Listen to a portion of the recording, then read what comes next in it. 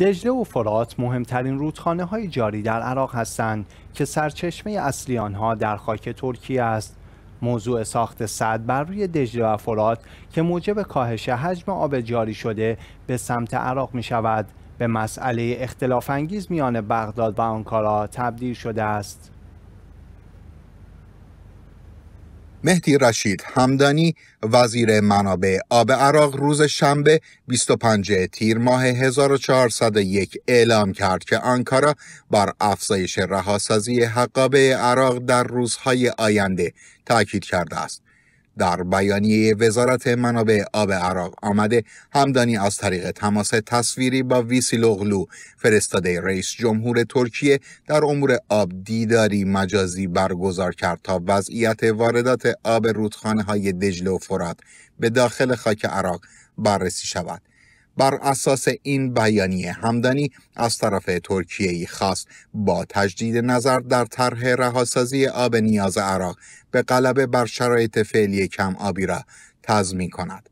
در این بیانیه همچنین آمده فرستاده ویژه رئیس جمهور ترکیه در امور آب آمادگی خود را برای همکاری با عراق اعلام کرد و به شرکت آب و سطحهای ترکیه برای افزایش رهاسازی آب طی چند روز آینده با توجه به ذخایری که در اختیار دارد دستور داد.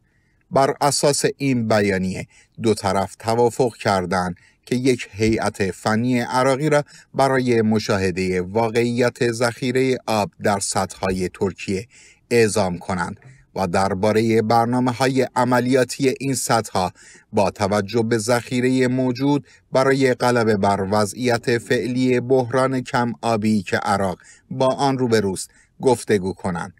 در همین حال سائر مخیف جبوری رئیس کمیته امور آبی پارلمان عراق دوشنبه گذشته درباره قصد ترکیه برای احداث صد بزرگ الجزیره هشدار داد و گفته بود که این صد جدید در دست اقدام ترکیه از خطرناکترین صد هاست و در صورت احداث یک قطر آب هم از ترکیه به عراق وارد نخواهد شد.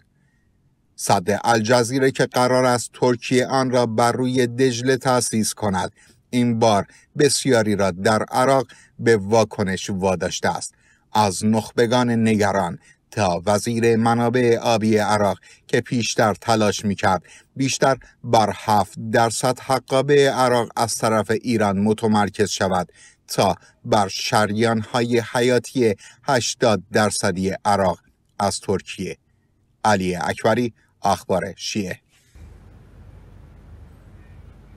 لازم به ذکر است عراق با بحران بی سابقه خوشسالی ناشی از تغییرات آب و هوایی به خاطر اقدامات ترکیه در پایین آوردن میزان آب ورودی رودخانه های دجله و فرات روبروست این مسئله باعث شده تا میزان حجم آب در دسترسی زمین های کشاورزی در عراق به نصف کاهش پیدا کند و در برخی از استانهای این کشور کشاورزی به طور کامل متوقف شد.